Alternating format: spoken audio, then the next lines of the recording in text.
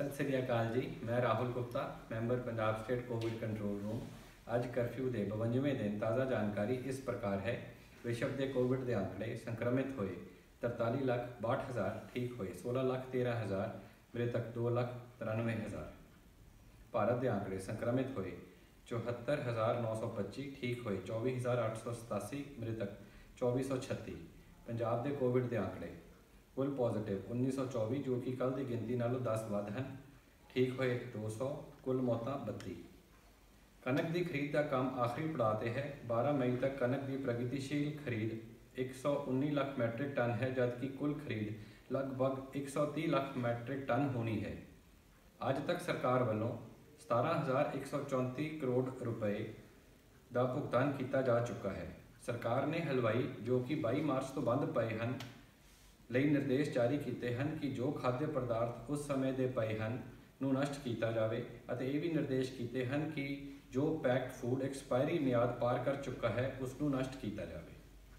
ਪੰਜਾਬ ਸਰਕਾਰ ਵੱਲੋਂ ਕੱਲ ਤੱਕ 77 ਸ਼੍ਰਮਿਕ ਸਪੈਸ਼ਲ ਟ੍ਰੇਨਾਂ ਰਾਹੀਂ 91904 ਪ੍ਰਵਾਸੀਆਂ ਨੂੰ ਰਵਾਨਾ ਕੀਤਾ ਜਾ ਚੁੱਕਾ ਹੈ ਅਤੇ ਅੱਜ ਉੱਤਰ ਪ੍ਰਦੇਸ਼ ਲਈ 10 ਆਂਧਰਾ ਪ੍ਰਦੇਸ਼ ਲਈ 1 ਮਨੀਪੁਰ ਲਈ 1 ਬਿਹਾਰ ਲਈ 4 ਯਾਨੀ ਕੁੱਲ 16 ਰੇਲ ਗੱਡੀਆਂ ਰਵਾਨਾ ਕੀਤੀਆਂ ਗਈਆਂ ਹਨ, ਜਿਨ੍ਹਾਂ ਰਾਹੀਂ ਕਰੀਬਨ 20000 ਪ੍ਰਵਾਸੀ ਭੇਜੇ ਗਏ ਹਨ। ਕੋਵਿਡ-19 ਵਾਇਰਸ ਸਾਹ ਤੋਂ ਸਿੱਧੇ ਸੰਪਰਕ ਤੋਂ ਦੂਸ਼ਿਤ ਸਤਹ ਅਤੇ ਵਸਤੂਆਂ ਤੋਂ ਫੈਲਦੀ ਹੈ। ਵੱਖੋ ਵੱਖਰੀ ਸਤਹ ਅਤੇ ਤਾਪਮਾਨ ਤੇ ਨਿਰਭਰ ਕਰਦਾ ਹੈ ਕਿ ਵਾਇਰਸ ਕਿੰਨੇ ਸਮੇਂ ਲਈ ਉਸ ਥਾਂ ਤੇ ਜ਼ਿੰਦਾ ਮੌਜੂਦ ਰਹੇਗਾ। ਇਹ ਵਾਇਰਸ ਸਤਹ ਤੋਂ, ਸਤਹਾਂ ਤੋਂ ਕੈਮੀਕਲ ਸਪਰੇਅ ਦੁਆਰਾ ਆਸਾਨੀ ਨਾਲ ਖਤਮ ਵੀ ਕੀਤਾ ਜਾ ਸਕਦਾ ਹੈ। ਇਸ ਲਈ ਸਰਕਾਰ ਨੇ ਲੋਕ ਹਿੱਤ ਵਿੱਚ ਲੋਕਾਂ ਅਤੇ ਵਾਹਨਾਂ ਦੀ ਆਵਾਜਾਈ ਉੱਤੇ ਸਖਤ ਪਾਬੰਦੀ ਲਗਾ ਰੱਖੀ ਹੈ, ਪਰ ਦੂਜੀ ਥਾਂ ਤੇ ਆਨ ਜਾਣ ਵਿੱਚ ਜੇਕਰ ਕਿਤੇ ਮਜਬੂਰੀ ਹੋਵੇ, ਤਾਂ ਸਰਕਾਰ ਨੇ ਕੁਝ ਰਿਲੈਕਸੇਸ਼ਨਸ ਵੀ ਦਿੱਤੀਆਂ ਹੋਈਆਂ ਹਨ। ਇਹਨਾਂ ਇਦਾਂ ਦੇ ਸਫ਼ਰ ਕਰਨ ਲੱਗੇ ਹੇਠ ਲਿਖੇ ਨੁਕਤਿਆਂ ਉੱਤੇ ਖਾਸ ਧਿਆਨ ਰੱਖਿਆ ਜਾਣਾ ਹੈ। ਜੇਕਰ ਕਿਸੇ ਨੂੰ ਯਾਤਰਾ ਕਰਨ ਲਈ ਕਿਸੇ ਨੂੰ ਯਾਤਰਾ ਕਰਨੀ ਜ਼ਰੂਰੀ ਪਵੇ ਤਾਂ ਕੋਸ਼ਿਸ਼ ਹੋਣੀ ਚਾਹੀਦੀ ਹੈ ਕਿ ਯਾਤਰਾ ਪੁਆਇੰਟ ਟੂ ਪੁਆਇੰਟ ਹੀ ਹੋਵੇ ਅਤੇ ਘੱਟੋ ਘੱਟ ਲੋਕ ਇਕੱਠੇ ਟਰੈਵਲ ਕਰਨ। ਸਫ਼ਰ ਕਰਨ ਤੋਂ ਪਹਿਲਾਂ ਸਰਕਾਰ ਕੋਲੋਂ ਲੋੜੀਂਦੀ ਆਗਿਆ ਪ੍ਰਾਪਤ ਕਰ ਲੈਣੀ ਚਾਹੀਦੀ ਹੈ।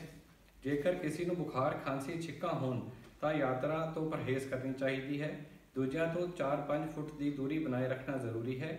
ਚਾਰ ਪਹੀਏ ਵਾਹਨ ਵਿੱਚ ਡਰਾਈਵਰ ਸਮੇਤ ਵੱਧ ਤੋਂ ਵੱਧ ਤਿੰਨ ਵਿਅਕਤੀ ਸਫ਼ਰ ਕਰ ਸਕਦੇ ਹਨ। ਦੋ ਪਹੀਆ ਵਾਹਨ ਵਿੱਚ ਸਿਰਫ ਇੱਕ ਵਿਅਕਤੀ ਹੀ ਸਫ਼ਰ ਕਰ ਸਕਦਾ ਹੈ। ਯਾਤਰਾ ਦੌਰਾਨ ਫੇਸ ਮਾਸਕ ਪਾਉਣਾ ਲਾਜ਼ਮੀ ਹੈ।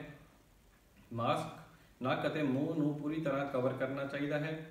ਡਰਾਈਵਰ ਅਤੇ ਯਾਤਰੀਆਂ ਨੂੰ ਹੱਥ ਮਿਲਾਉਣ ਜਦਕਿ ਪਾਉਣ ਤੋਂ ਗੁਰੇਜ਼ ਕਰਨਾ ਚਾਹੀਦਾ ਹੈ। ਹੱਥ ਅਤੇ ਮਾਸਕ ਸਾਬਣ ਅਤੇ ਪਾਣੀ ਨਾਲ ਧੋਣੇ ਹਨ। ਹੱਥ, ਹਰ 2 ਘੰਟੇ ਬਾਅਦ ਮਾਸਕ ਦਿਨ ਦੇ ਅੰਤ ਵਿੱਚ। ਜਿੱਥੇ ਸਾਬਣ ਅਤੇ ਪਾਣੀ ਉਪਲਬਧ ਨਹੀਂ ਹਨ, ਉੱਥੇ ਹੈਂਡ ਸੈਨੀਟਾਈਜ਼ਰ ਦੀ ਵਰਤੋਂ ਕਰਨੀ ਹੈ। ਸੈਨੀਟਾਈਜ਼ਰ ਦੇ ਵਿੱਚ ਘੱਟੋ ਘੱਟ 70% ਇਥਾਈਲ ਅਲਕੋਹਲ ਹੋਣਾ ਚਾਹੀਦਾ ਹੈ। 3 ਮਿਲੀਲੀਟਰ ਯਾਨੀ ਕਿ ਢੱਕਣ ਨੂੰ ਦੋ ਵਾਰੀ ਦੱਬਣ ਤੇ ਜਿੰਨਾ ਨਿਕਲੇ ਉਹਨਾਂ 30 ਸੈਕਿੰਡ ਵਾਸਤੇ ਹੱਥਾਂ ਤੇ ਮਲਦੇ ਰਹਿਣਾ ਚਾਹੀਦਾ ਹੈ। ਵਾਹਨਾਂ ਵਿੱਚ 에ਅਰ ਕੰਡੀਸ਼ਨਰ ਦੀ ਵਰਤੋਂ ਕੀਤੀ ਜਾ ਸਕਦੀ ਹੈ, ਲੇਕਿਨ ਇੱਕ ਖਿੜਕੀ ਜ਼ਰੂਰ ਖੁੱਲੀ ਰੱਖੋ ਤਾਂ ਜੋ ਹਵਾ ਅੰਦਰ ਬਾਹਰ ਤਾਜ਼ੀ ਵਗਦੀ ਰਹੇ। ਛਿੱਕ ਜਾਂ ਖੰਘ ਹੋਣ ਦੀ ਸਥਿਤੀ ਵਿੱਚ ਮੂੰਹ ਰੁਮਾਲ ਨਾਲ ਕਵਰ ਕਰਨਾ ਚਾਹੀਦਾ ਹੈ ਅਤੇ ਵਰਤਿਆ ਹੋਇਆ ਰੁਮਾਲ ਜੇਬ ਜਾਂ ਪਰਸ ਵਿੱਚ ਵਾਪਸ ਰੱਖ ਲੈਣਾ ਚਾਹੀਦਾ ਹੈ। ਕਿਸੇ ਵੀ ਸਮੇਂ ਹੱਥਾਂ ਨਾਲ ਮੂੰਹ ਨੂੰ, ਨੱਕ ਨੂੰ, ਅੱਖਾਂ ਨੂੰ ਨਹੀਂ ਛੂਣਾ ਹੈ। ਥੁੱਕਣਾ ਬਿਲਕੁਲ ਵਰਜਿਤ ਹੈ, ਲੇਕਿਨ ਕਿਤੇ ਵਾਸ਼ ਬੇਸਿਨ ਮਿਲ ਜਾਵੇ ਤਾਂ ਉੱਥੇ ਥੁੱਕਿਆ ਜਾ ਸਕਦਾ ਹੈ। ਥਰਮਲ ਸਕੈਨਰ ਹਰ ਰਾਜ ਦੇ ਬਾਰਡਰ ਦੇ ਉੱਤੇ ਮੌਜੂਦ ਹਨ, ਜਿੱਥੇ ਚੈਕਿੰਗ ਕੀਤੀ ਜਾਂਦੀ ਹੈ, ਤੁਹਾਡੀ ਸਕਰੀਨਿੰਗ ਕੀਤੀ ਜਾਂਦੀ ਹੈ।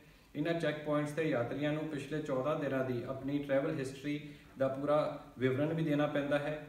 ਕੋਵਿਡ-19 ਦੇ ਲੱਛਣ ਰਹਿਤ ਵਿਅਕਤੀਆਂ ਨੂੰ ਹੀ ਅੱਗੇ ਜਾਣ ਦੀ ਆਗਿਆ ਦਿੱਤੀ ਜਾ ਸਕਦੀ ਹੈ। ਸਾਰੇ ਵਿਅਕਤੀਆਂ ਨੂੰ ਸਹੀ ਜਾਣਕਾਰੀ ਲਈ ਅਤੇ ਆਪਣੀ ਸਿਹਤ ਦਾ ਖਿਆਲ ਰੱਖਣ ਲਈ ਲਾਜ਼ਮੀ ਹੈ ਕਿ ਉਹ ਕੋਵਿਡ ਐਪ ਡਾਊਨਲੋਡ ਕਰਨ। ਜੇ ਬਾਅਦ ਵਿੱਚ ਕਿਸੇ ਨੂੰ ਪਤਾ ਲੱਗਦਾ ਹੈ ਕਿ ਉਸ ਦੇ ਨਾਲ ਜਿਸ ਨੇ ਟਰੈਵਲ ਕੀਤਾ, ਉਸ ਯਾਤਰੀ ਨੂੰ ਕੋਵਿਡ-19 ਪੋਜ਼ਿਟਿਵ ਪਾਇਆ ਗਿਆ ਹੈ, ਤਾਂ ਉਹ ਤੁਰੰਤ ਹੈਲਪਲਾਈਨ ਨੰਬਰ 104 ਤੇ ਸੰਪਰਕ ਕਰਕੇ ਸੂਚਿਤ ਕਰੇ। ਬੇਨਤੀ ਹੈ ਕਿ ਕਰੋਨਾ ਦੇ ਚਲਦਿਆਂ ਘਰਾਂ ਵਿੱਚ ਹੀ ਰਹੋ। ਅੱਜ ਇੰਨਾ ਹੀ, ਧੰਨਵਾਦ।